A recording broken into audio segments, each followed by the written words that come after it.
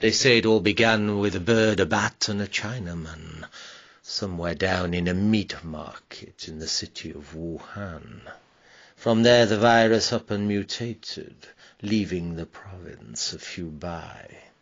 Now it's on a worldwide tour. It's just touched down in Moscow and Mumbai. Strange, but I wonder if this little old bat from Hubei bears any relation to a plague rat that sailed out 1335 out of Shanghai. This dreadful little bacteria certainly caused a mass hysteria. People are wearing Gucci gas masks covered in vodka and aloe vera.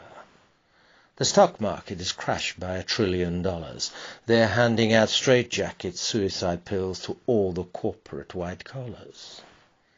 They've plastered labels and leaflets onto every window and door, but unfortunately people are having to use them as toilet paper due to the panic buying at the drugstore. The paparazzi and their prophets of doom say that the end of the world is nigh. Well, then there's certainly no point in paying the gas bill if we're all going to die.